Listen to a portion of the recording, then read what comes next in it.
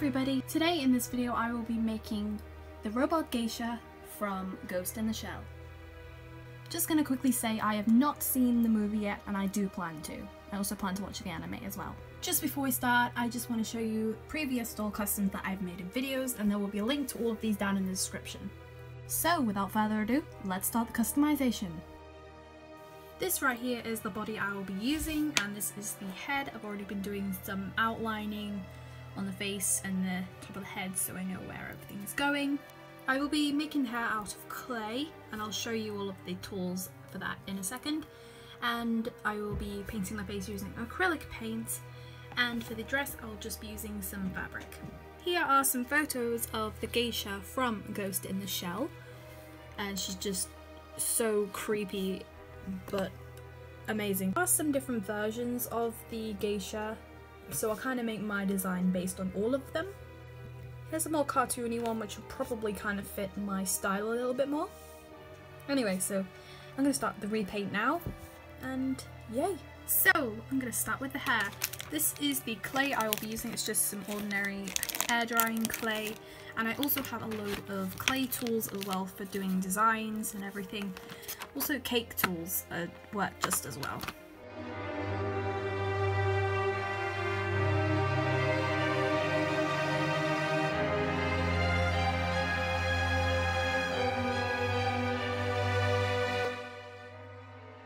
So far. I added in some extra details using one of the tools to make it look more like hair, but I didn't want to make it look too realistic. So it's just some extra detail. I like how that came out, it looks really good. So now I will be doing the like updos. I don't really know what to call them. To do that, I will be sticking a few pins in her head to make sure that the clay has something to stick to, and these will be going through the head, like so.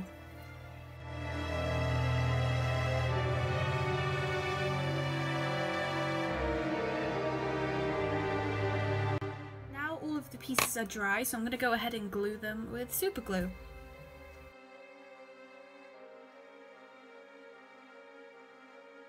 So it's all glued in now, it's not going to move, probably. Um, yeah, so I'm going to go ahead and paint the hair black.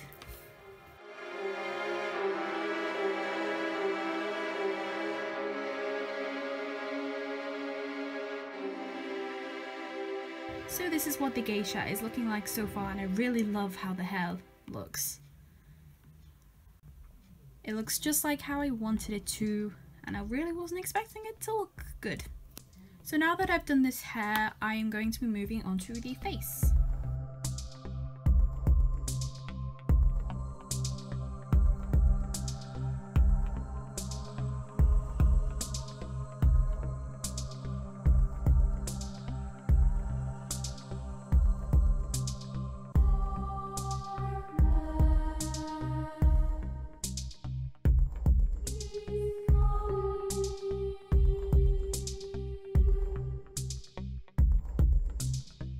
Now the face is completely done. Well, almost. I still need to do the robot looking bits, but uh, anyway, this is what it looks like. I love it. I love how the eyes came out. They look really good. So I'm just going to go ahead and seal the eyes and then the face is mostly done. I am using this to seal the eyes.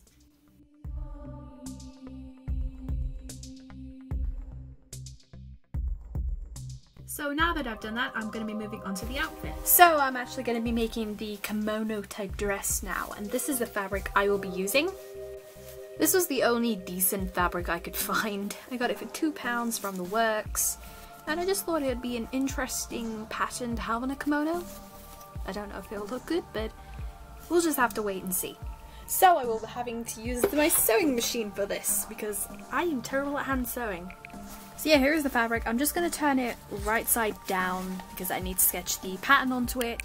So I'm just going to trace around this previous kimono that I made, well the top of the kimono, and see how it goes. I, I'm not very good with this. If you want to know properly how to make doll clothes, please go to someone else's channel. So here's the sketch, and I've just done a seam allowance, so I have enough space to actually sew onto it. So I, I'm gonna need two of these and I'm just gonna go ahead and cut them out. So I now have both of the pieces and I need to put them good side to good side and then sew along this line that I've done right here.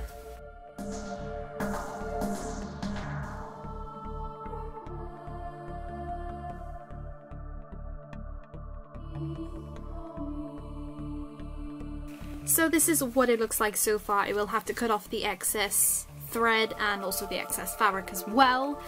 I'm just going to make sure this actually fits on the doll before I do anything.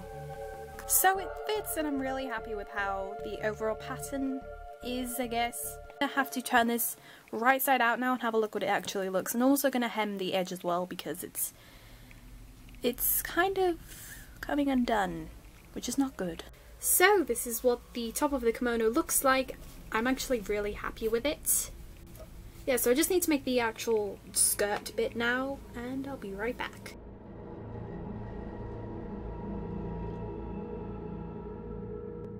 Now I've actually done the main kimono. I will add a belt because it looks weird without a belt. Yeah, I'm really happy with this. I love how it came out. So yeah, now I am going to just do some detail on her body because she has some like pink on her neck and also the robot arms and everything. Don't know if that made sense, but I'm just gonna do it anyway.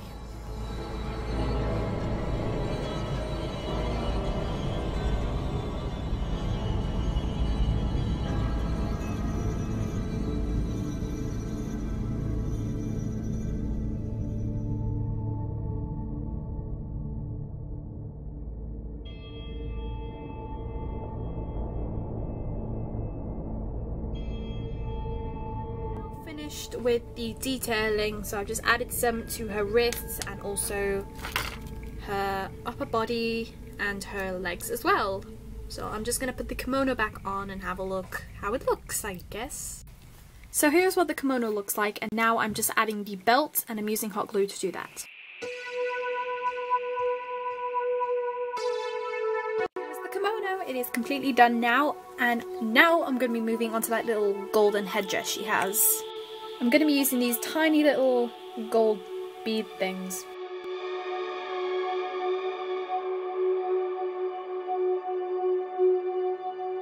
So everyone, the doll is completely done. I have to say, I really like how the overall thing came out, although I'm not exactly the most pleased with the pattern on the fabric. kind of wish it was a bit different, but Apart from that, this doll is perfect. Here is a look at her hair as well as the charms and the little stick that's in it. And here is the face. I added some extra bits on just at the end, just to add extra detail. And now down to the kimono. So this doll can now join my collection of dolls that I've made in videos and I'll leave a link down below for all of the videos. So that is Hatsune Miku, Harley Quinn, Noodle and Katana.